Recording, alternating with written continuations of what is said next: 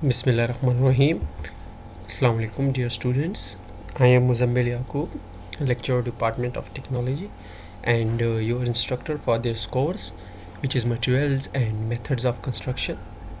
So dear students, in this video we are going to discuss about some physical properties of cement in detail. Then in second part of our lecture we are going to discuss about classifications of different type of cements. And uh, in the last part is about storage of cement right? So let's start. So basically uh, physical properties of a good cement are based on six things right? So which are uh, written over here. As you can see the first one is fineness second one is consistency third one is soundness fourth is uh, setting time fifth is compressive strength and the last two are density and specific gravity. So let's move to our next slide. So let's discuss first one which is fineness. Fineness means 95% uh, of cement particles are smaller than 45 micrometer with average particle around uh, 15 micrometer.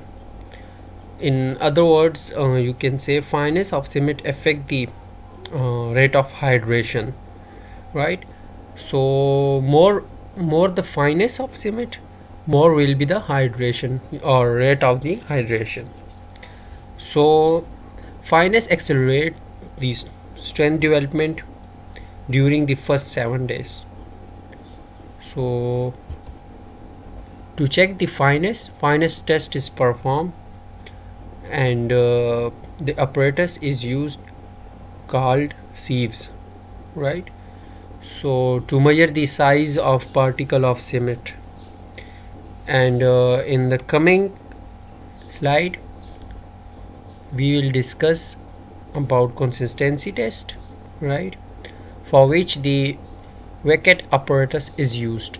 So the picture of this apparatus can see over here. So consistency uh, means relative mobility of a fresh mix cement paste or mortar or its ability to flow right?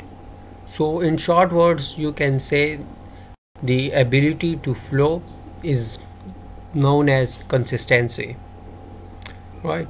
And uh, with the help of uh, Vicat's apparatus the consistency of a cement is measured. Now third so the third one is soundness. Soundness means the ability of hardened paste to retain its volume after setting time.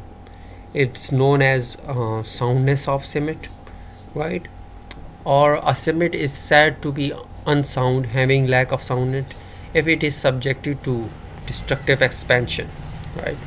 And uh, the tests which are used to check the soundness of a cement is uh, known as Le Chatelier accelerated test. And uh, the second one is basically there are two type of test right? So the second one is called autoclave expansion test right? So over here you can see the Le Chatelier apparatus which is used to measure the soundness of a cement. And uh, next one is setting time right? So for second setting time the apparatus which is used is called Vicat's apparatus over here in this picture you can see Vicat operators.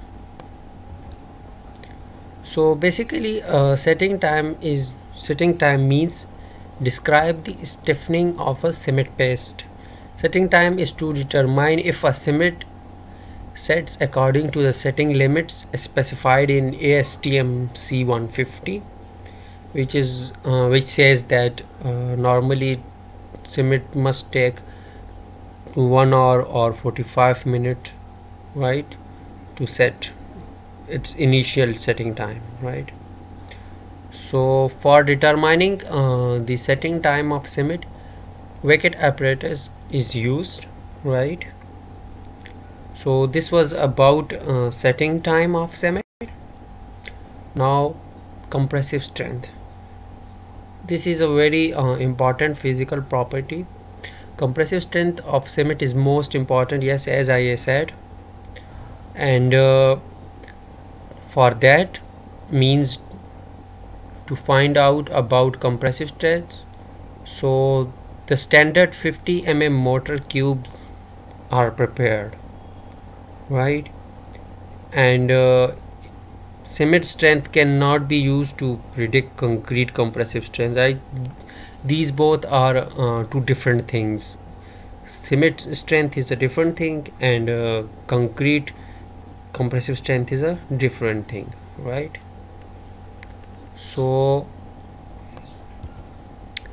over here in this picture you can see the number of samples means the number of mortar samples are prepared. In this uh, scale you can see. So the last one is density and specific gravity right? Density is the mass of unit volume of a solids or particles right? Excluding air between the particles. So it is used in concrete mix proportioning calculations right and uh, for mixed proportioning it may be more useful to express the density as relative density which means specific gravity. And the average value is uh, around 3.15 or 3.16 right? So let's discuss classifications of cement so generally we have uh, five categories right which is further divided into subcategories. So the first one is known as normal cement or ordinary portland cement. The second one is uh, or uh, IA right known as normal or air entrant. Then next is moderate sulfate resistance cement sorry then comes moderate sulfate resistance and air entrant. And uh, after that the third ca third category is known as high earlier strength. Then comes high earlier strength plus air entrant. And the last two are low heat of hydration and high sulfate attack. So let's discuss them one by one so the first one is uh, ordinary portland cement which is commonly used or generally used right? And uh, have no special properties. So let's move toward the next one. Next one is uh, known as air entrance cement right? Which is used to prepare air entrant concrete and uh, is for freeze and thaw resistance right? This is a very important point because we should know the implementation of uh, air entrant cement so the conditions are over here. If you face a freeze and thaw issue so the favorable cement is air entrant cement right? So let's move towards the next one. So over here uh, in this these pictures you can see the air bubbles right?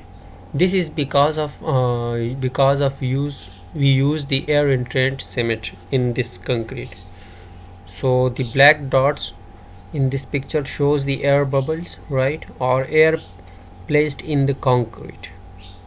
And on the other hand in this picture you can see where ordinary Portland cement is used. So there is no air bubbles or air placed in the concrete. And uh, on the left picture right this is a microscopic picture of a concrete sample. So the black area or black dot shows the air bubbles right?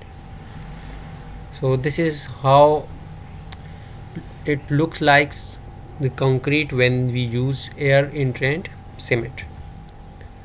The next one is uh, type 2 and type 5 which are used for sulfate resistance right?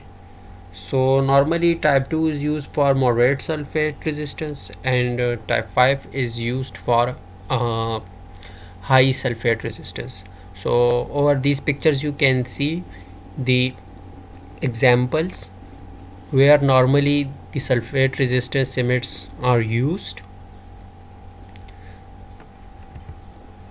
these are the some uh, pictures of sulfate attacks how sulfate attacks looks like and uh, how they appear. So you can see the white whitening of the surface which is due to the sulfate attack or in this picture spelling due to the sulfate attack. So in this picture B you can see the another example of sulfate attack. So to tackle these kind of issues we should use or we should recommend sulfate attack cements so the third one is uh, known as high earlier strength cement which is used where uh, earlier strength is needed right? For example uh, fast track pavements or fast track roads or uh, rapid or rapid from removal of precast concrete. The example you can see over here. And uh, where for example we are we must minimize the traffic concessions right? So these are the some common examples. The next one the next one is known as low heat of hydration right? Type 4 cement. So normally low heat of hydration is 20% lesser than that of ordinary Portland cement. The amount of water required for hydration is low right? When you use this uh, this type of cement so the amount of water for hydration is very low and uh, the hydration of cement is an is an exothermic pr process that produce large quantity of heat as we can as we know. So the common example uh, of low heat cement use is dam construction right? So the famous type of the cement is known as white Portland cement right? So normally it is used in uh, architectural concrete right because of its light color. And uh, over here in these pictures you can see the examples. So let's come storage of cement in different conditions so cement is moisture and sensitive material. If kept dry it will retain its quality indefinitely. And uh, when exposed to moisture cement will set more slowly and uh, will have less strength compared to cement that kept dry. At the time of use cement should be freeze throwing and uh, free lamps. So this was uh, all about cement's uh, classifications its physical properties and it's about storage. So inshallah in our next in our next video lecture we will discuss some other construction materials. So till then take care stay safe and allah hafiz